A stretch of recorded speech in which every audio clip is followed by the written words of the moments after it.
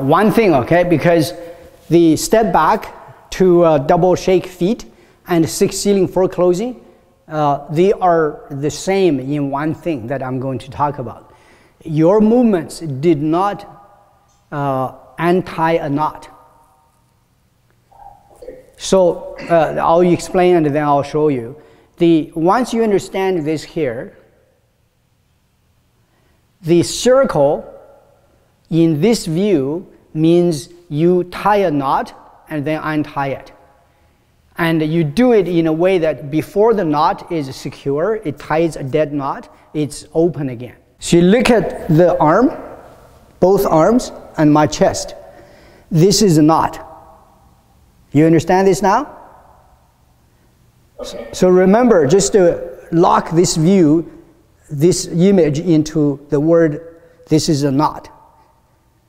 So if you're in a box, like a small room, and people push you, you go like this, now you're cornered. That's called a knot. You have nowhere to go. So as you do this here, this can you see is one beat, you do half of it, half of it. Now watch again, this is one beat, it's finished. You do half of it. At this time, your arms stop, your chest continues. Now you have undone the knot. And now watch again. When your arms move again, you open it. Otherwise, can you see you are caught? Do you understand that this move is fundamental? This is the primary function of six sealing and four in training your foundations, not application. So you see here, six sealing, four closing, you pretend to do this. Your opponent can feel with sensitivity, he got you cornered because your movement is double heavy.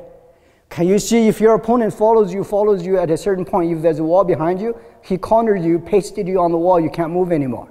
So you actually go like this, and then, can you see that half? You went like that. And then at this point, you actually are totally open to return. If you are like this, you can't return. Now, can everybody understand this now? I've been talking about this for a long time. I hope one day you understand this is why in Tai Chi you look like you're making moves. Actually, your moves are totally opposite of what your opponent thinks you're ma making. Every move you make, he thinks he got you, but you, he never got you. This is the move I said is like a baby. When you try to carry a baby, if a baby uses power, can you see you got him? But the baby does this, so you can't get him. So to speak, hold your arm and do this. And you, you remember in foundations, we've been working on this for a long time? Yeah. It unties the knot.